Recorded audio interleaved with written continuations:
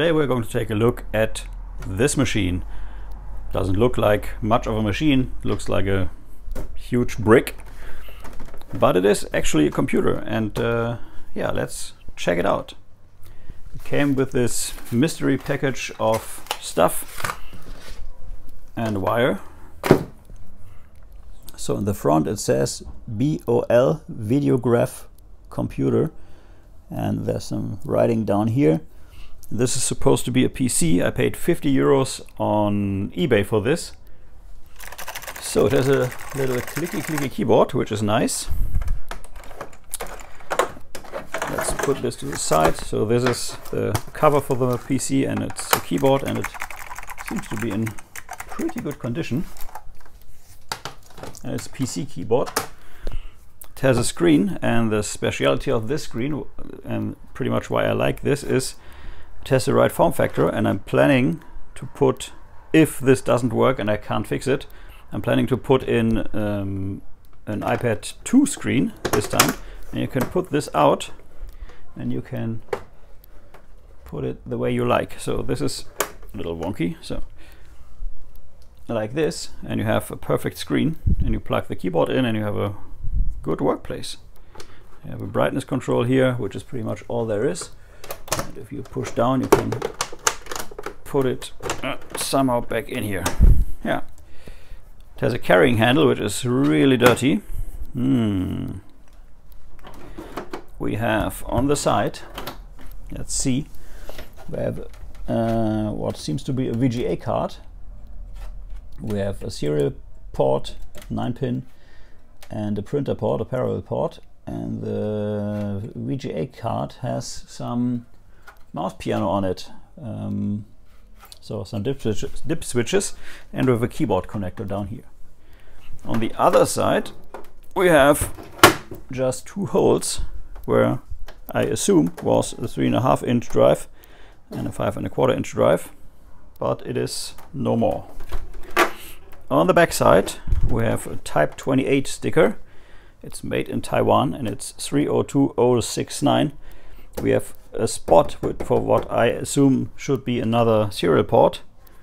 We have um, a switch down here, which I think is to switch between 110 and 240 volts for the power supply. And we have an on-off switch and the power socket. On the bottom, there's nothing to see. So let's plug it in and see if it has actually some life in it. I don't know. It was sold as used but not broken. Let's see what gives. Let's plug in the keyboard. Ah, like that. Oops. Okay, let's fire it up.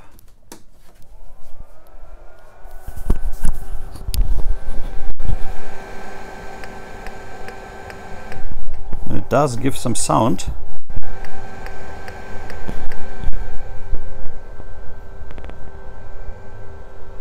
Not sure if the screen is on. Oh, it beeps.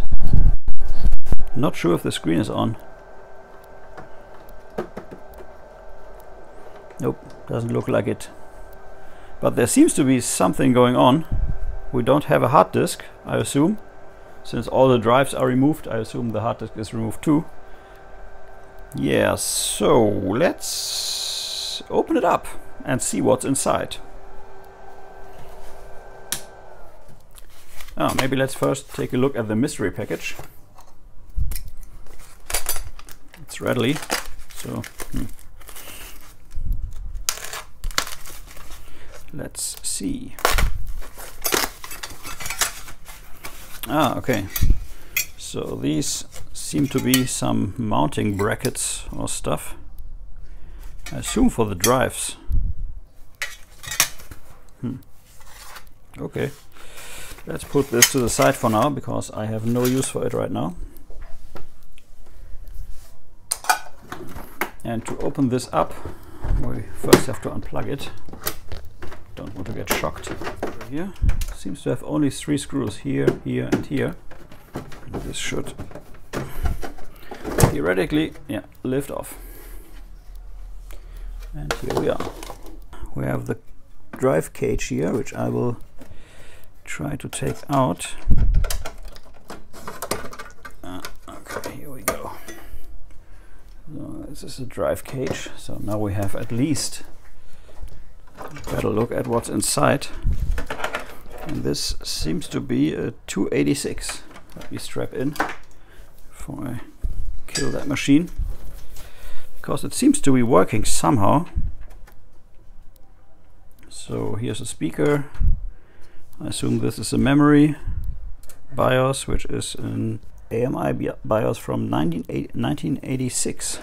So we have some cards here.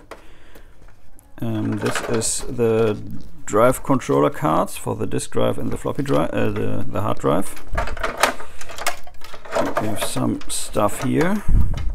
So let me first get the card out, cards out of here. Hmm. Okay, I guess we have to first take out the VGA card and that has a connector for the screen on the front so this here somehow connects to the screen in front so let me take that off. Okay. And here's a power connector for that. So let's take the tallest card out first which is the IO card. Yeah. Okay, and this is a non-descriptive, I don't know, whatever card. BOL GmbH. Hmm. Okay, so these seem actually to be the manufacturer of this machine, not just some slapped on brand. Let's take the VGA card out, which is this beauty. OTI VGA, Oak Technologies. Not sure if this works. But the inter interesting part is, of course, this connector here, which then should power the front screen, or at least transfer the data to the front screen, which is pretty nice. I've never seen that before. And now we can hopefully yeah, get this controller cut out. There, therewith comes a whole slew of cables. And this is connected somewhere here. I assume this is a drive LED. Let's pull this cable take the controller out.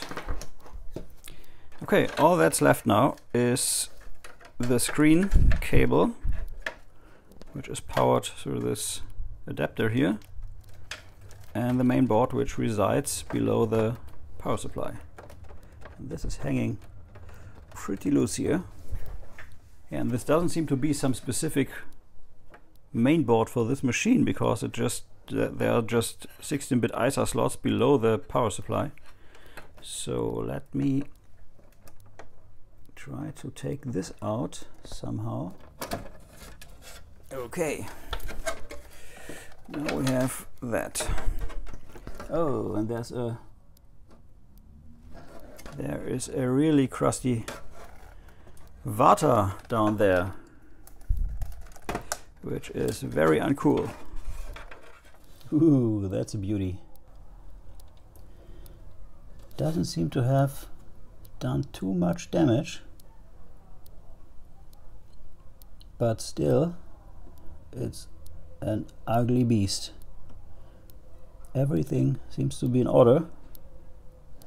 And I think first order of business is to cut this out, but you have some some real nasty stuff over there. I think we have to take this out of the case and take a closer look. Ooh, that crustiness. Beautiful. Okay, much better.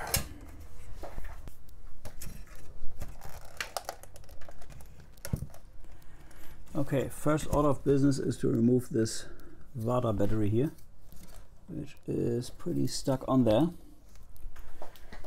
So I think we are in luck. The corrosion is pretty much just in this area right here, and that should not affect the machine. I will use some vinegar to neutralize the corrosion, but for now, for testing purposes, this should be sufficient. So, can take a closer look, which is uh, an AMD N80L28612/S from 1982 and an AMI BIOS 268 BIOS Plus from AMI 1986. Chips on here, this is from 91, 12 of, is this 12 of 91? I think it is. Yeah, so let's uh, reconnect the power supply and let's try to get an image somewhere. I will use, uh, I'm not sure if I will use this VGA card. Maybe I use another VGA card. I'll have to check if I have one. I will at least clean the contacts because they are pretty rough.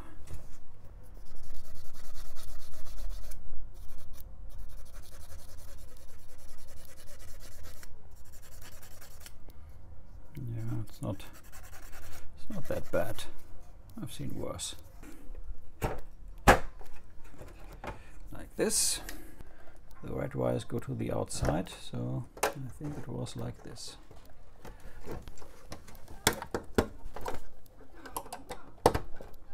Yeah, that should work.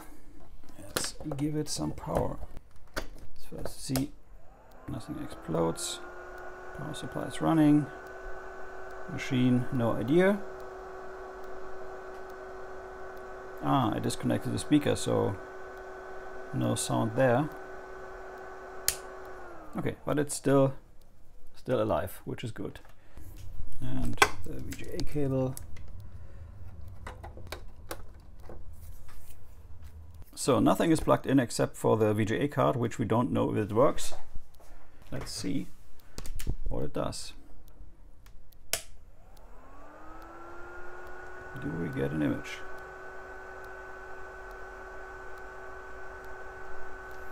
Are we even... Ah, hey! Look at that. Oak Technologies. 1 meg of RAM. Nice. So this thing actually works. Yeah, okay, no battery, no system options, HDD controller failure, keyboard error, run setup utility F1 to resume.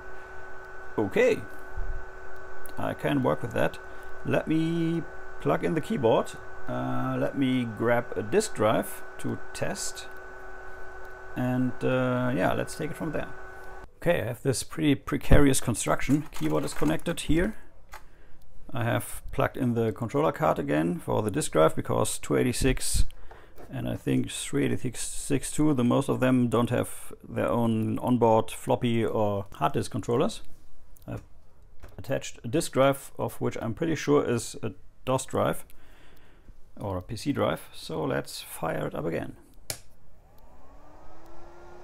No explosion so far, which is good. And we still get the screen, American Megatrends. Oh, battery state low, system options not set, display type mismatch. Okay, so let's press F1 to resume. And we get not much. So, um, Control Alt Delete. Unsupported mode. Oh, flashy, flashy. Let's hit Del to enter setup and diagnostics. Run setup utility. Yeah, I would, but hmm.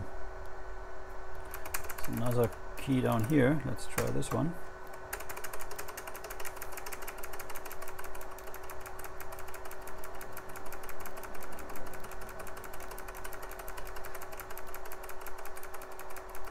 Hmm. Doesn't let me go into the setup. Hmm, so how can I get into the BIOS?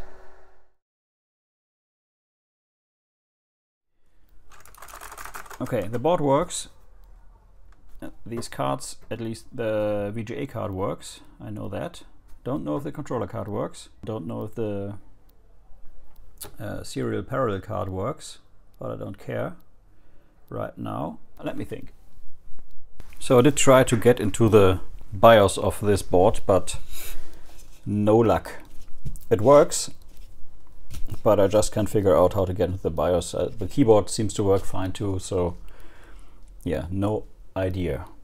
So what I'm going to do is I will leave the board out for now and I will take the machine or the casing and the screen and I will clean it and I will turn it into a C64 SX on SX64.